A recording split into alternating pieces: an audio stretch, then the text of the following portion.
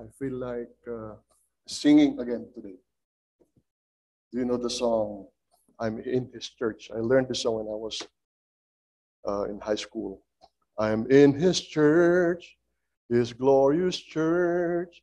I did not join, though I was born. Though I was born, I have this birth. Some glorious day, I'm gonna sail away. It's by His grace, not by my works. I'm in His church. Good morning, church. Good morning. Isn't it really wonderful to be in God's church? Amen? All right. Wonderful to see everybody. And um, especially to Sister Diane, right there at the back. Amen. Amen. God is good. Okay. So this morning we will continue our um, brokenness series. As we all know, um, in the announcement we heard and in the prayer, we heard about those uh, loved ones that pass away, those that we love, cared for, gone before us. Okay. So this morning, we will be talking, or we will continue that part of brokenness. And you know what, brothers and sisters, most of life's brokenness is brought about by grief. Okay. And grief comes into many different ways, and the pain that comes with it comes in different levels. And um, for example, as a parent, you know, we, we all wanted to, to give our children the best future. And uh, due to some circumstances, for example, like financial uh, difficulties in life, you know, we, we fail to deliver that dream to our children. And as we see our family struggle in life, uh, in, in comparing it with other people who, have it easy and who have it light, it hurts us and it breaks our hearts, right? And, you know, when we see our children sick and not getting any, any better, and we just cannot afford them to bring them to the to a better healthcare facilities uh, because of financial limitations, it breaks our hearts. Or even if we cannot afford, uh, you know, a, a better house for them, a better dress for them, it breaks our hearts to see our family like that, our children like that. And uh, somehow, those are some of the grief that we go through in life. and uh, oftentimes, when we have this grief in life, we go to the corner of our room at night and uh, we pray to God. We go to that corner right there and we kneel to God. We, we grieve. We talk to God. We appeal to Him. Or maybe we question Him. Now, other instances for our grief can be our social economic situations.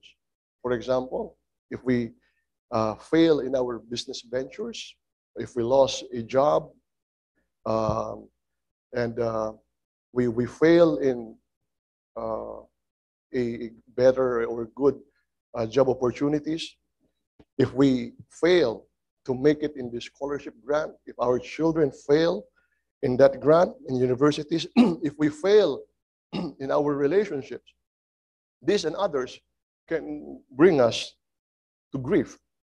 And I think the most heartbreaking of all, of all grief that can throw us that can throw a man so deep into the abyss of the so-called grief is when we lost someone. Right? When we lost someone that we dearly love. And as we all know, that grief is a part of the cost. All of us have to endure because of living and loving. It's a cost that we have to take. It's a cost that you will experience while you are alive because you are alive and because you love. And those never born, they won't experience grief. They won't experience death, of course.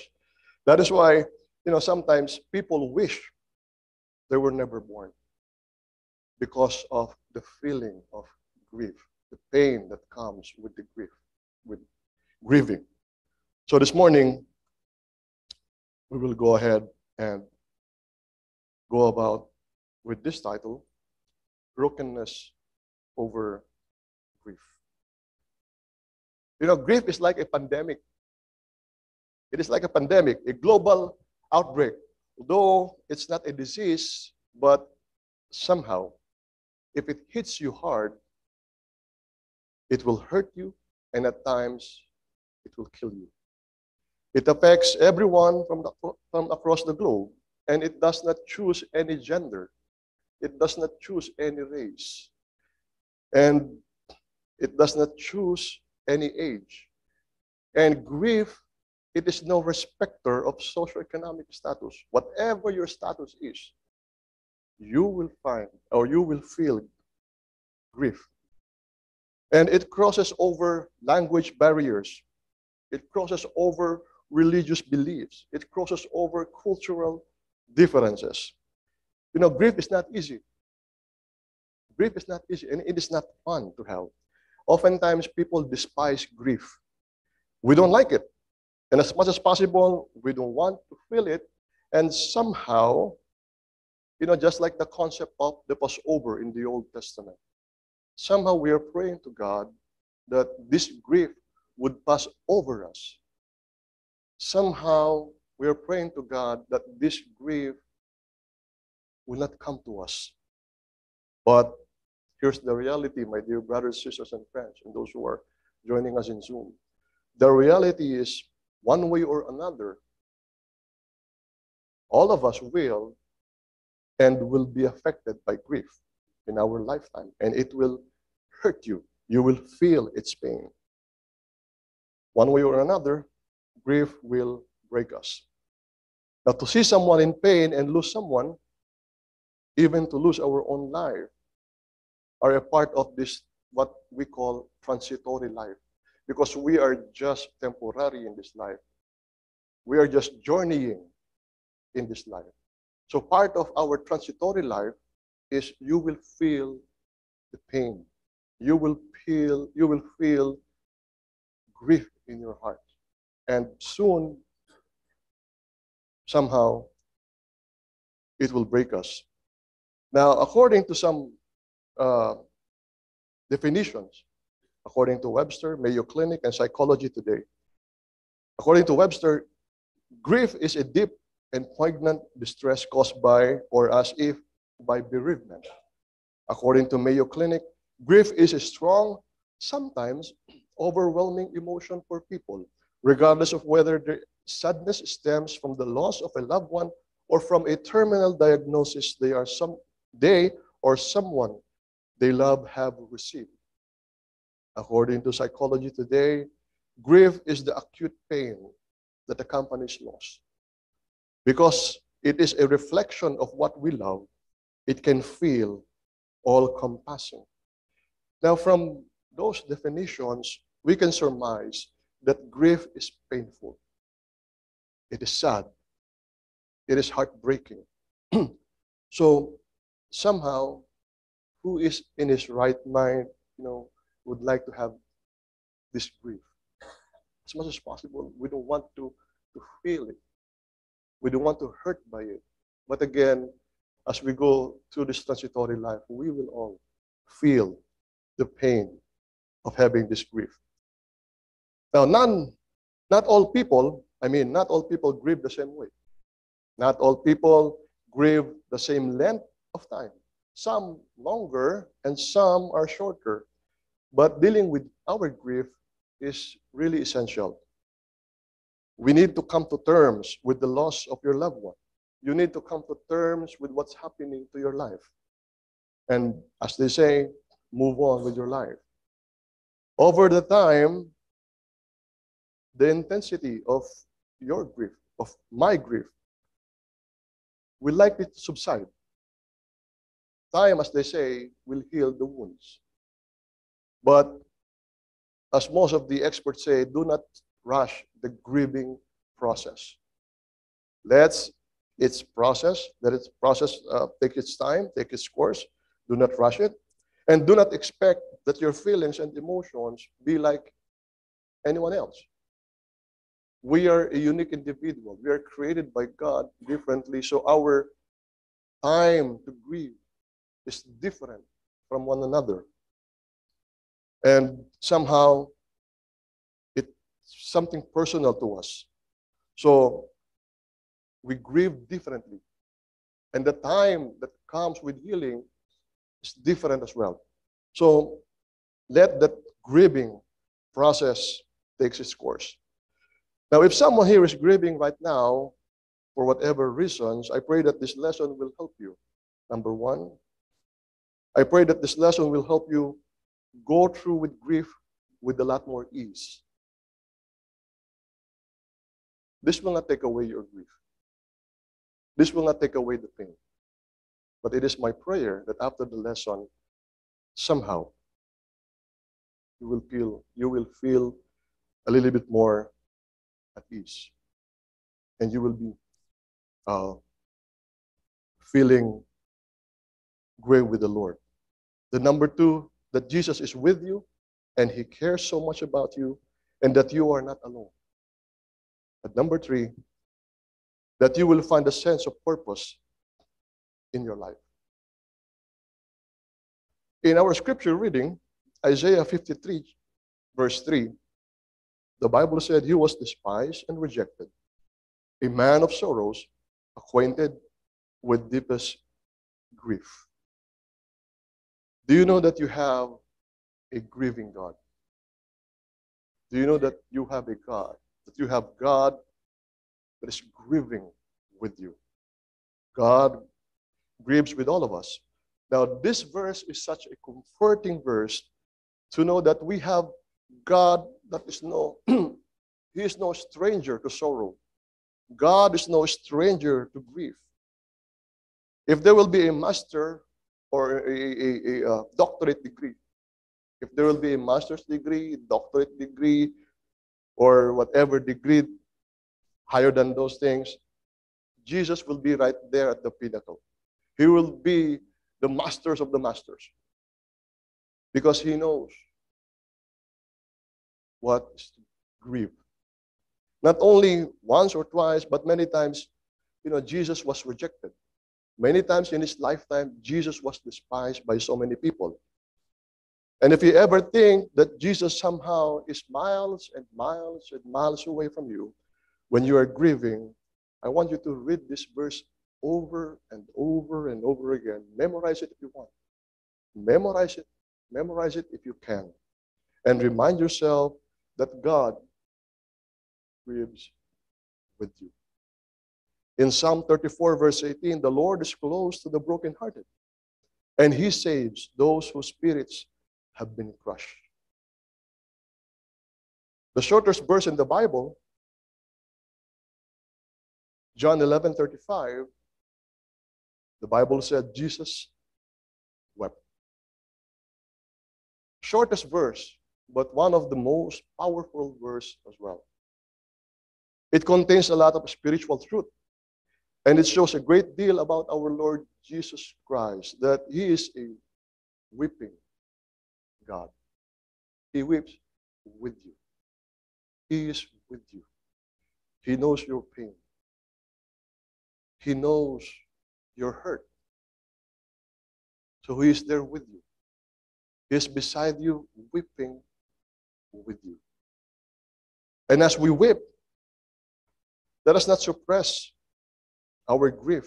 It is okay to weep. It is okay to grieve.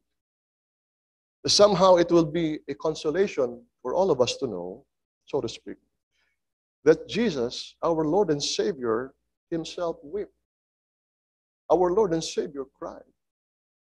He cried over the death of his beloved Lazarus.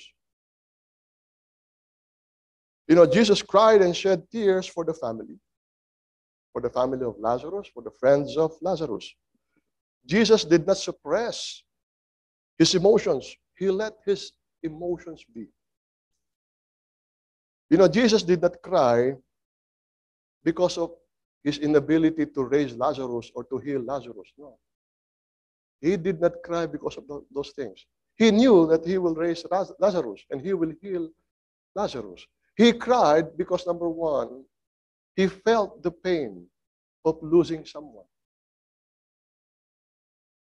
He cried, number two, because he saw the family of Lazarus, the friends of Lazarus crying. He felt the pain of those people.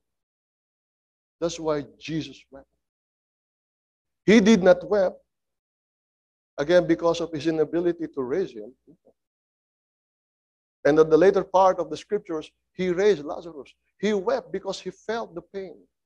He knew what it was losing someone. Jesus did not suppress his emotions, he let his emotions be. And number three, Jesus showed his human side. He was not exempted to feel the pain. He was not exempted of feeling that pain of losing someone. You know, G- Lazarus, Lazarus was very close to Jesus Christ. We all know that. And maybe Lazarus was like a brother to him. That's why when Lazarus died, he cried. He cried. In John 11 3, so the sisters sent word to Jesus Lord, the one you love, the one you love, just like a brother to you, the one that you so much love, is sick and eventually died. That's why Jesus wept. He knew what it feels like to lose someone. Now, in the Bible days, you know, people weep loudly Okay? People, they, it's like wailing, as they say. When people weep loudly, when they wail, they do it, number one, to show their fierce anger. You know, they, they wail because they want to show that they are angry, especially when the cause of the death of that someone was caused by injustices. So they cry their hearts out. Number two, they wail they weep loudly to show sympathy to someone. And number three, they weep loudly to show their real emotions. Some people, you know, they really weep so hard. You can hear them across the room because of their emotions. It's okay. It's okay. And number four, sometimes weeping loudly, it was done hypocritically to gain people's attention. There are those there, there are those weeping out of they just want to you know get people's attention out from an insincere heart. The Greek word for weeping is dakruo, which means to weep silently. When Jesus wept, the Greek word used in that word is dakruo, meaning to weep silently, to shed quiet tears. In this case, when Jesus was weeping, he was like sobbing. He was like, just like that. He was not wailing, he was not weeping loud. He was weeping to himself. And the dakruo, it means that your tears falls from your eyes almost, you know, unnoticeably. It will suddenly fall from your eyes. But it is with all sincerity. When Jesus wept, his heart was breaking.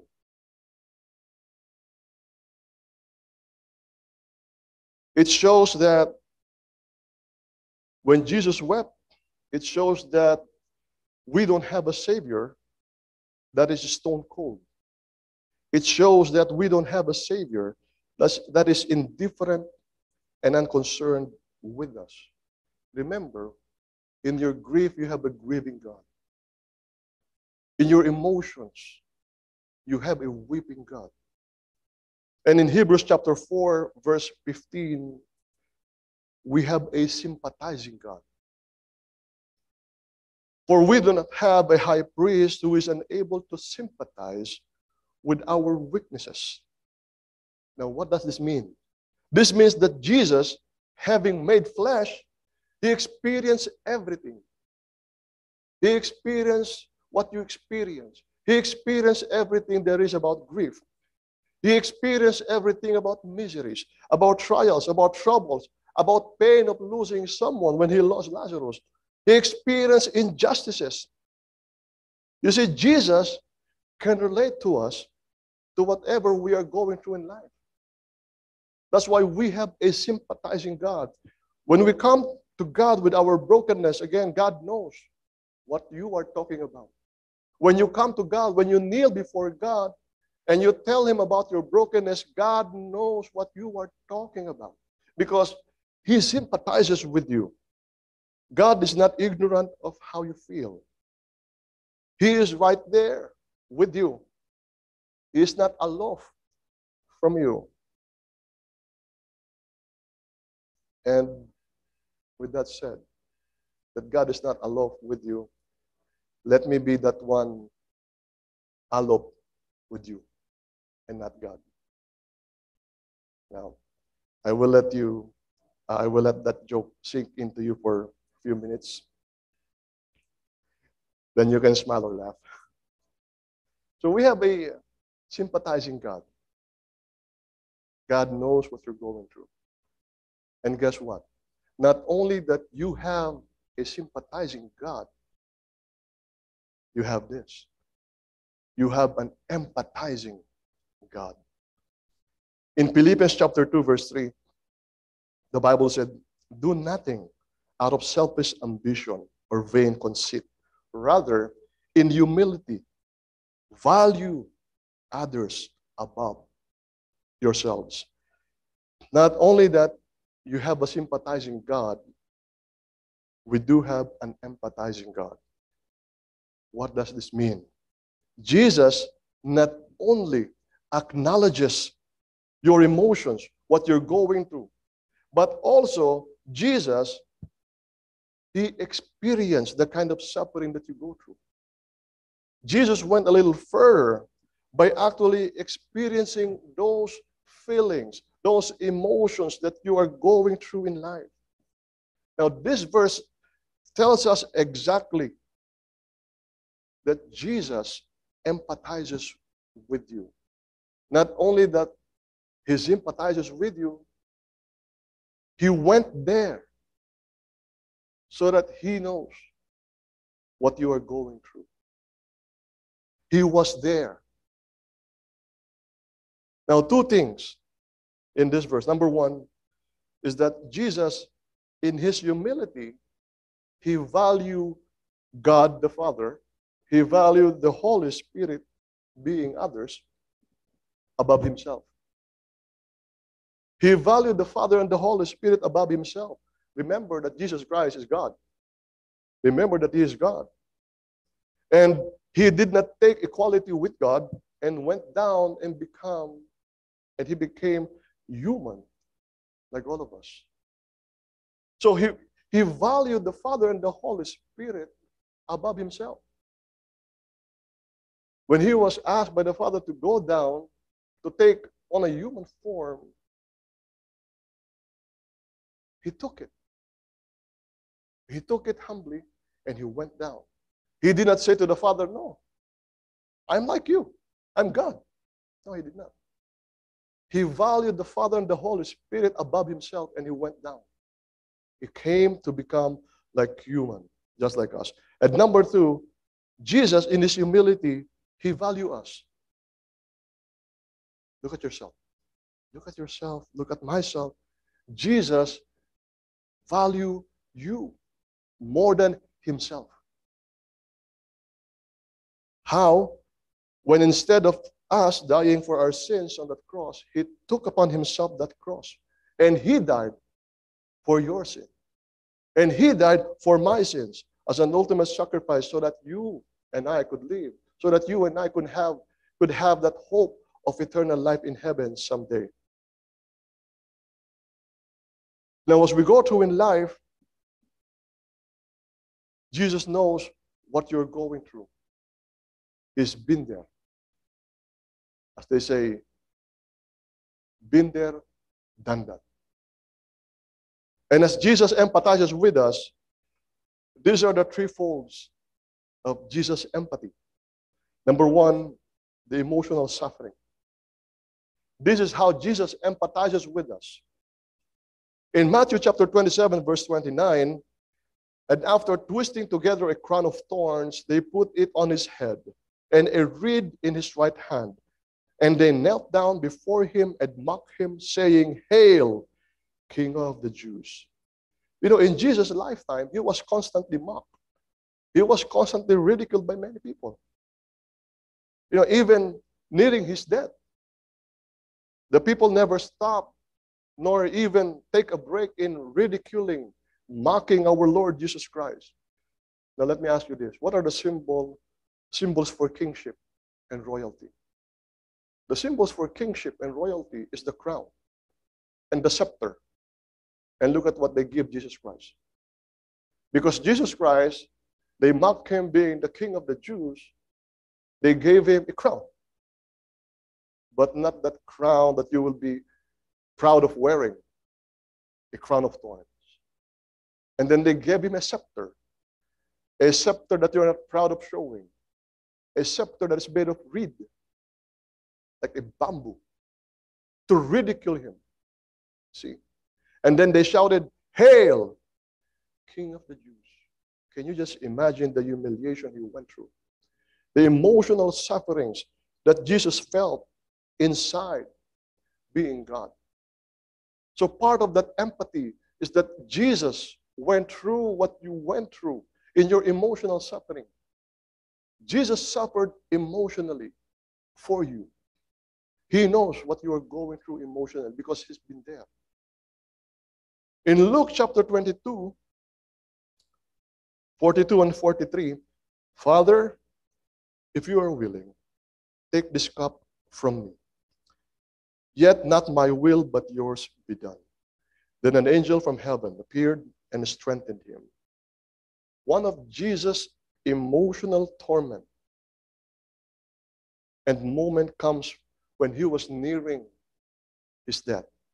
Can you imagine knowing precisely when and how you are going to die? Can you imagine that for a while? Can you imagine knowing at exactly what day, knowing what ex- exactly what time you're going to die and how you're going to die. Can you imagine that? Jesus knew all those things. He knew that at exactly this time, at exactly this day, at exactly in this place, at exactly how, he knew those things. That's why he went far from his apostles. He went to the garden far from those apostles' eyes and he prayed to God. And as he prayed to God for comfort, I'm pretty sure, you know, as the Bible continues to say, he was crying. He was crying. And he was emotionally stressed out. And then God sent an angel to comfort him.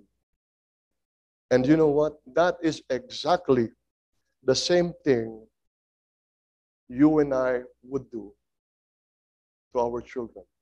When our children, when they are broken down emotionally, what are you going to do? You will put your arms around your children. You will put your arms around your wife or your, your family members, your friend.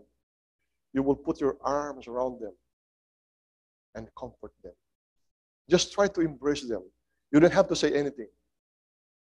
Just try to embrace them. And they will know the comfort that you are trying to give them. And they will feel comforted. That's what God the Father did to Jesus Christ. When Jesus Christ was so, so stressed out emotionally, he sent an angel to touch and comfort Jesus Christ. Can you imagine? Can you imagine? It is like the Father saying to Jesus Christ, Son, it's okay. I got your back. Now, Jesus suffered emotionally and he empathized with us emotionally.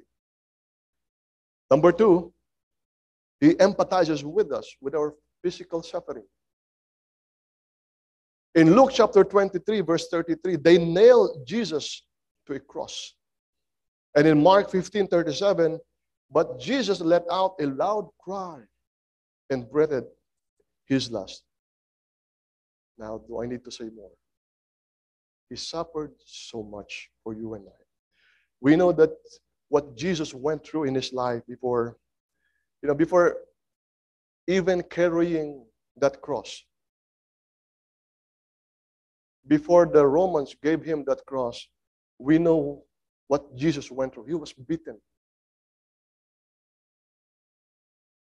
What do we call it?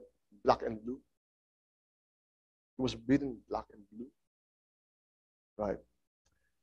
And, you know, the, the people were so cruel at him, and then they, they even gave him the cross. They even gave him the cross.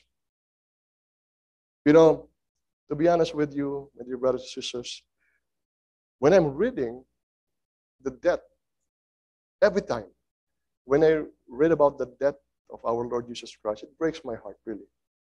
No joking. It really breaks my heart.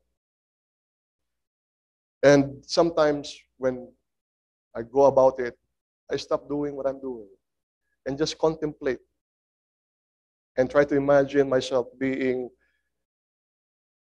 at Mount Golgotha. Trying to imagine myself being there, seeing my Lord and Savior Jesus Christ crucified on the cross. It's like really hurting to see your master, your Savior, my Savior Jesus Christ being treated that way.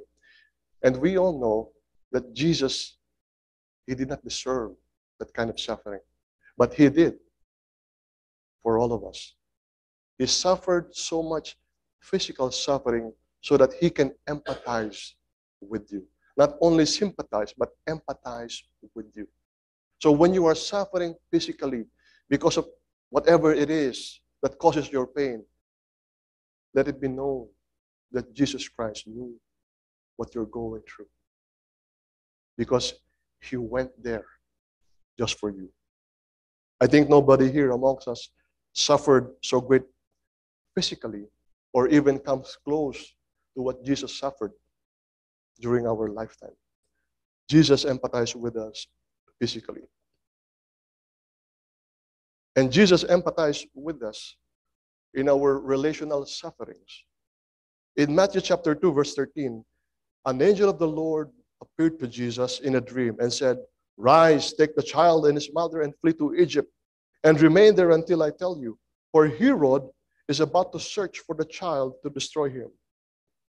We suffer relational loss with our friends and even with our families.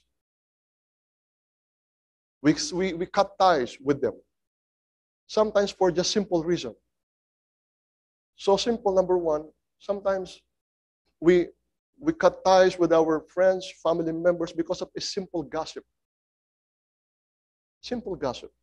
It cut ties with our relationship with our beloved. Right? Sometimes we cut ties with misunderstandings.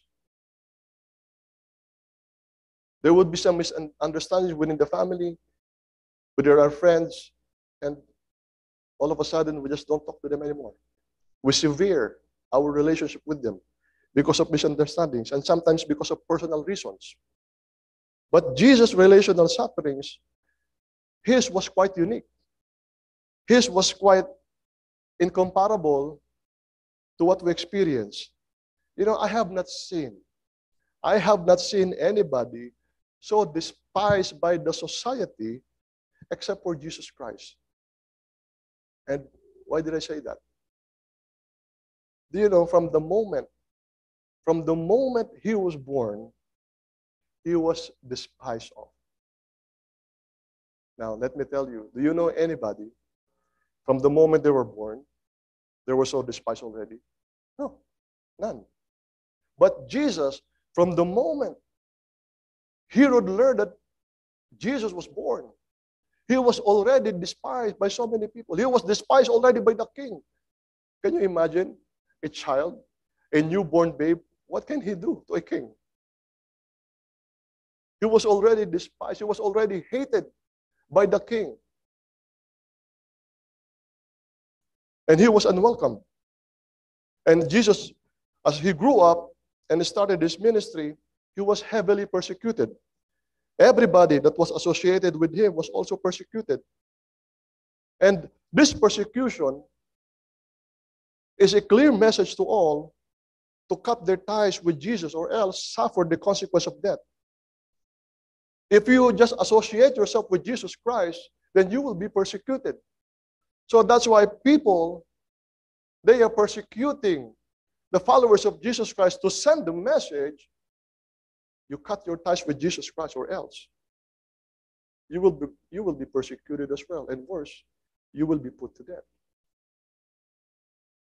So the society wanted to cut relationship with Jesus Christ. And whatever it is that you have relationship with Jesus Christ, they are telling you, you cut your relationship with Jesus Christ. They wanted to cut the relationship of the apostles, of the followers of our Lord Jesus Christ, so that the gospel will not be preached. They are thinking if they persecuted the followers of Jesus Christ and they put all the followers of Jesus Christ to death, they were thinking that the gospel will not be preached anymore. But they are wrong. The gospel keeps on moving forward. And until this day, we have the gospel. Now, with this, Jesus empathized with us in our relational sufferings, even so much more than we ever experienced. Again, empathy is not only Jesus putting himself in our shoes, but it is also taking action to alleviate our suffering. In the words of C.S. Lewis in his book, A Grief Observed, he said, Have they never been to a dentist? The dentist drill, while an instrument of intense pain, ultimately brings health. The drill of grief fosters healing in our lives by raising ultimate issues and eternal questions, such as who is my true beloved? And who is, or where is my real home? You know, our brokenness oftentimes are not an end in itself, but a means to truly finding real life. The drill of grief, as mentioned by C.S. Lewis, the drill of grief, though it brings us so much pain, but in the end, it will give us healing. It will give us real happiness. For by God's grace, Jesus empathized with us, and we will be able to see blessedness in front of us behind our brokenness. Jesus took action to alleviate our sufferings, both here and especially in the afterlife, by ultimately dying on the cross so that we can truly answer who is my true beloved and where is my true home. Now, we now know who is our true beloved, and that is Jesus Christ, who not only sympathized with us, but more so empathize with us. Now, the question now remains where is my home? Where is my true home? As Jesus comforts his disciples, and as Jesus comforts all of us, because grief enveloped all of us, and when Jesus, before his death, he was comforting his disciples or after his death, sorry, after his death, Jesus comforted all his disciples because he knows that his disciples, they were enveloped with grief.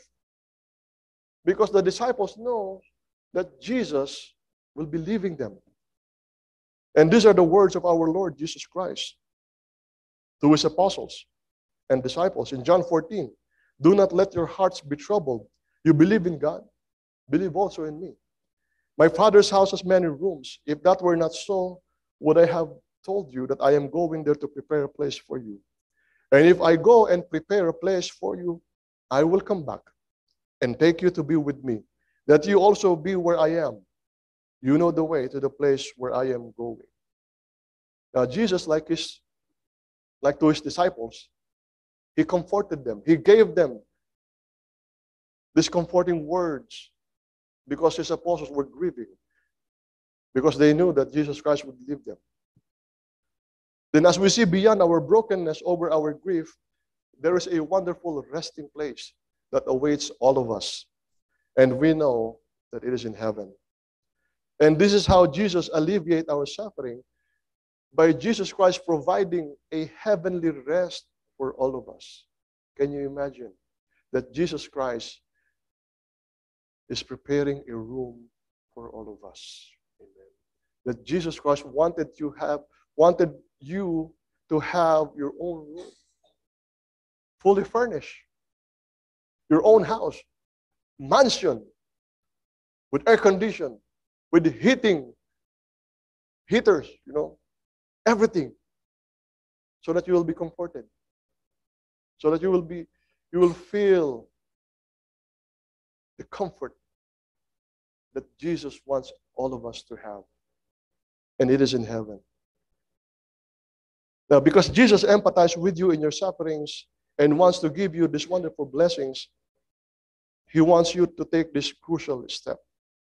In Psalm 62, verse 8, just one crucial step that Jesus wants you to take. Trust in him. Trust in him. Not just today. Trust him, not just tomorrow.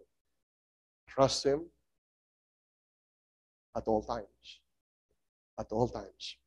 You people, pour out your hearts to Him, for God is our refuge. Now, Jesus, He needs our full trust. He needs your full trust in Him as He hold your hands towards your brokenness and healing. Now, part of the trust that you can give to Him is to tell God your heartaches. God wants you to pour your hearts to Him. Your griefs, all those things that drag you down, and keeps you weary. Jesus said, Give, pour out your hearts to Him. Trust Him with your most intricate situations, your most personal life. The thing that's so personal to you, lay it out to God. Trust God that He will take care of you and that He will be your shelter in the time of in the time of storm in your life.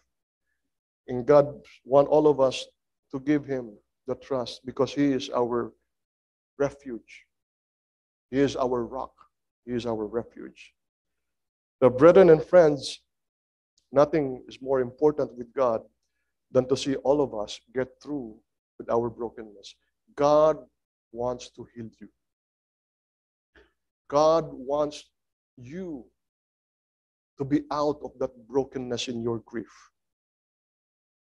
Now, I hope that this lesson, number one, help you go through with your grief with a lot more ease. And number two, I hope that you saw Jesus is with you all the way in your grief and that he cares so much about you and that you are not alone.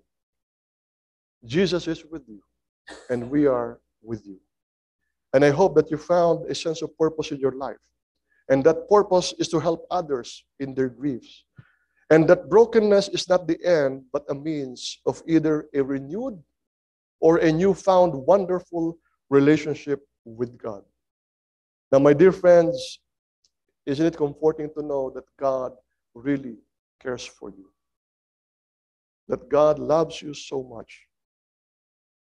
Now, I want to invite all of our friends who have not yet accepted the Lord Jesus Christ to please come to Jesus Christ. Come now to Jesus Christ and accept Him. And again, who can hinder you from baptizing into His name? And if any of you here suffering right now, whatever it is that you're feeling right now, and wants to be prayed upon, prayed for, can I encourage you to come forward and we will pray for you. And I'm telling you that you're not alone and that we are here for you.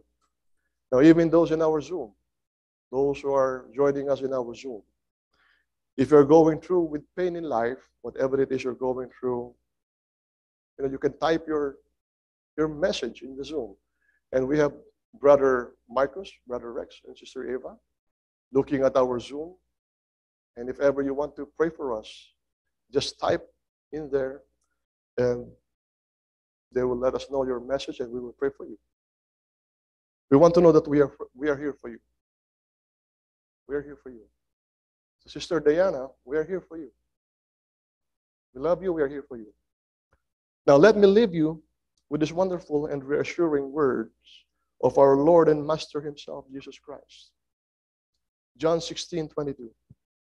Therefore, you too have grief now, but I will see you again. Wonderful. And your heart will rejoice. And no one, no one is going to take your joy away from you. Amen. Amen. As we sing the song of invitation, again, I want to encourage you to come forward. Let us pray for you. We will be waiting for you to come forward. Shall we stand as we sing the song of invitation? Good morning, and God bless us all.